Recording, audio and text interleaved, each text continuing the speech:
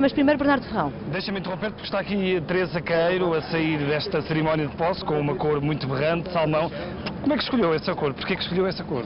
Acha que eu vou comentar indumentárias num dia destes? Mas é uma cor viva, é porque é um dia, é um dia hum, especial, é um dia feliz. Foi tomada de posse de um governo que enfrenta desafios muito grandes e que estará certamente à altura desses desafios. É um grupo muito dinâmico, eh, com uma composição de pessoas com currículos invejáveis, eh, com uma componente de independentes eh, assinalável e, portanto, darão o seu melhor para ultrapassarmos o problema eh, e a situação complicada em que A Portugal se solução. Esteves é uma boa escolha?